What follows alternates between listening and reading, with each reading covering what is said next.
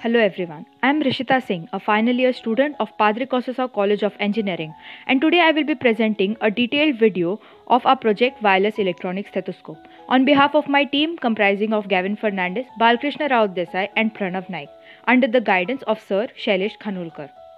In these difficult times during the pandemic, it is very important that we do something to protect our doctors from COVID 19 infected patients.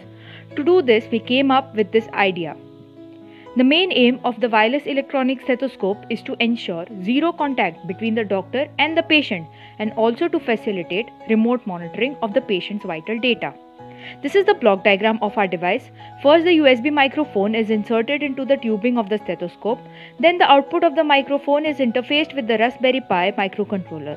This helps us to record the audio signal, and then this recorded audio signal is transmitted wirelessly to a remote monitoring device via a Bluetooth module which is pre-mounted on the Raspberry Pi. Once the data is received on the monitor, doctor can now study it and give the medications as needed. To begin with, the doctor and the patient should be connected via a video call. This is done so that the patient can keep the diaphragm at the correct auscultation points.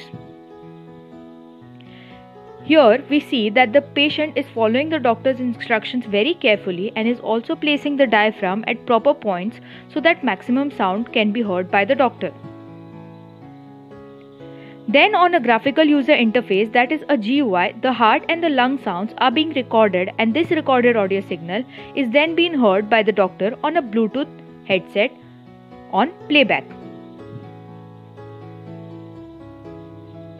The GUI that we have designed is user friendly, that is, it is very easy to use.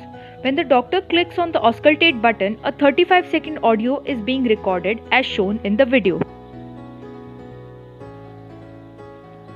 The replay button allows the doctor to listen to the most recent heartbeat of your signal.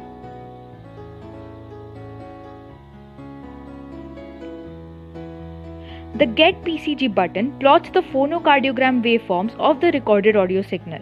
These waveforms help in better understanding of the patient's heartbeat. When the exit button is clicked, it will terminate the entire GUI.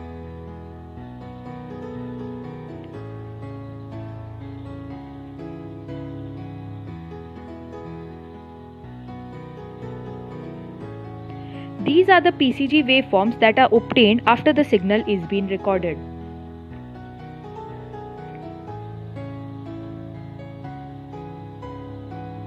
So this is all from our side. Thank you.